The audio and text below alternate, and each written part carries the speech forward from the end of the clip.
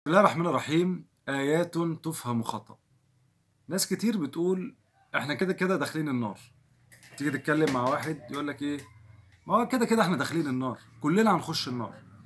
أيوه ليه بقى؟ قال لك لأن ربنا عز وجل بيقول وإن منكم إلا واردها كان على ربك حتما مقضيا فربنا بيقول إن كل الناس هتخش النار وده شيء يعني آه، لا مفر منه. طبعا الآية يا أخوانا مش بهذا المعنى. الآية لها عند أهل العلم قولان أو فيها قولان. القول الأول قول ابن عباس واختاروا الشيخ الشنقيطي في أضواء البيان إن وإن منكم إلا واردها يعني الورود هنا بمعنى الدخول.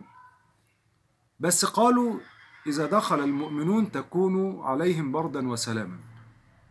أما الكفار فيكونون فيها إلى يوم القيامة إلى إلى أبد الآبدين. أما العصاة فإلى أمد ثم مآلهم إلى الجنة. لكن القول ده مش قول قول القول الأصح إن المقصود بقول الله عز وجل وإن منكم إلا واردها يعني المرور على الصراط. يبقى الورود هنا مش بمعنى دخول النار لأن الورود ممكن يكون بمعنى القرب من الشيء ولا يلزم الدخول كما قال كما قال الله عز وجل ولما ورد عن سيدنا موسى ولما ورد ماء مدين فالورود بمعنى القرب من الشيء فإن وإن منكم إلا واردها يعني المرور على الصراط وهو جسر على جهنم بيمر عليه المؤمنين.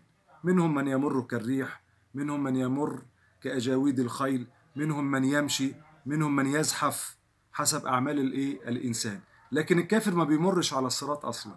الكافر بيسقط في النار ابتداء يبقى وإن منكم إلا واردها يعني هيمر على الصراط. مفيش حد مش هيمر على الصراط من المؤمنين. كله هيمر على الصراط. وإن منكم إلا واردها. كان على ربك حتما مقضيا. كمل بقى الآية. ثم ننجي الذين اتقوا ونذر الظالمين فيها جثيا. يبقى المؤمنين الصالحين هيعدوا والعصاة هيقعوا في النار. مش معناها إن كل الناس هتخش النار هتخش النار. ومش معناها إن الناس هتعذب هتعذب. محدش قال كده من أهل العلم. وإزاي أصلا أنت عايش في الدنيا وأنت بتقول أصل كده كده هخش النار؟ أنت تستحمل تعيش في الدنيا إزاي؟ ده إحنا عندنا آمل كبير في ربنا عز وجل اللي إحنا ما ندخلش ما ندخ- ما ندخلش النار.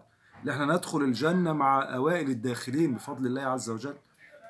وإزاي كله هيخش النار وعندنا حديث النبي صلى الله عليه وسلم يدخل الجنة سبعون ألفا بغير حساب ولا سابقة عذاب. يبقى إزاي هيخشوا النار؟ يبقى المقصود وده قول ابن مسعود وكثير من المحققين من أهل العلم أن المقصود هو الورود على آه، الصراط وهو جسر على متن جهنم.